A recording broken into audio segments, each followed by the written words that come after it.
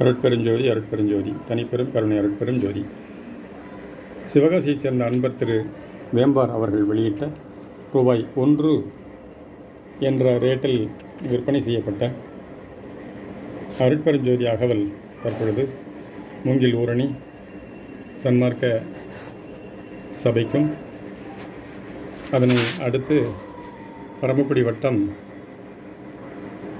கீழப்பார்த்திவனூர் என்ற கிராமத்திலே புதிதாக துவக்கப்பட்டுள்ள அற்புதமான அந்த சத்திய தர்மசாலைக்கு அனுப்பி வைப்பதற்காக பார்சல் கட்டி அவர்கள் மூலம் அனுப்பி வைக்கப்பட்டுள்ளது.